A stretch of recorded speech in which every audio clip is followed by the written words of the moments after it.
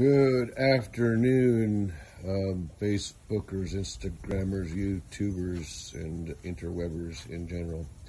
Uh, welcome to uh, Shirt Pocket Productions and uh, another installment of the Panhead Project. What you're looking at there are two Panhead frames, the 1950 uh, hardtail and the 1960 uh, swing arm frame.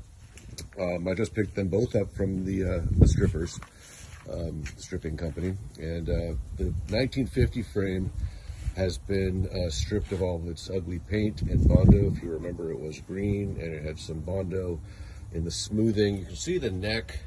Uh, that's where it's been raked. Um, it actually wasn't all filled with Bondo. It's been actually filled with uh, metal. It was actually raked, um, from what I understand correctly. Um, but it's, uh, it's, it's ugly in places um, where it was smoothed and, and manipulated. Um, there's some ugly looking welds on it, uh, but I think it's okay. I think it's solid. Um, and it certainly can be restored back to stock. Uh, and it looks like it's pretty straight. I don't know what I'm going to do with this frame. I, I really don't. Uh, I may build another bike out of it as it is um, after I you make it pretty again. I may restore it to stock and build a bike out of it that way. I may sell it as is. I may restore it and sell it. No idea. All I know for sure, um, from the hallmarks that are left, because some of them in the process uh, were removed. We can see some of the hallmarks like that one there, very much visible.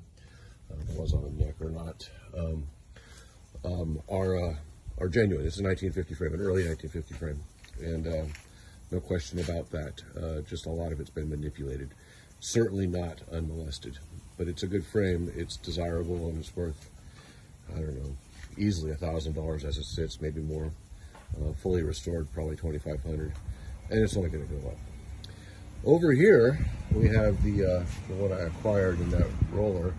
Um, this is a pretty good um, 1960 frame, uh, and you can see the hallmarks on it are really clear now, um, all over it, and uh, almost everything's there. Uh, there's a couple things about it, that, uh, like I said before, the the top tank mount has been, the top one mount has been cut off and this one's welded on, um, not terribly. Um, the uh, other, some other things have been removed and uh, this exhaust hanger mount has been kind of booger welded on and it looks like something was cut off there. Not sure what all is going on there. I'll have to compare it with the book. Um, the threads for the swing arm are uh, stripped out. I'll have to have an insert put in there of some kind. Um, but it's in really good shape. Um, what you're seeing here is raw metal. Uh, there's no primer or anything on there. That's just stripped down to raw metal. And um, to get the gloves to manipulate it with. I want to touch it as little as possible because it will rust almost instantly. Although, you know, in this climate where very little humidity here is probably not terrible. But um, it's uh, it's in really good shape. Uh, anyway, I'm going to take this down to Cork and uh, we're going to look it over and see what we need to do and see what uh, what's going to happen. And then it's going to go back to the strippers where they're going to powder coat it.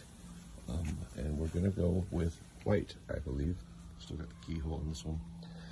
And um, it looks pretty good. This one looks pretty good. And, um, and that's where we're at. So they're going to go onto this moving blanket here uh, for the time being. Um, you know, the lift over there is empty right now. I've got my bike over here. And uh, next thing going to the strippers are these tins. Uh, don't know, you know, whether or what I'm going to use yet. I just know I'm using that fender. Um, I've got this other fender that came with a hardtail. I've got that, I don't know if you can see it back there. There's a peanut tank back there hanging on the walls in that green. Uh, I won't be using for this project for sure. Um, but uh, it's uh, more progress, more progress excited. Uh, anyway, until next time. Yeah, Peace.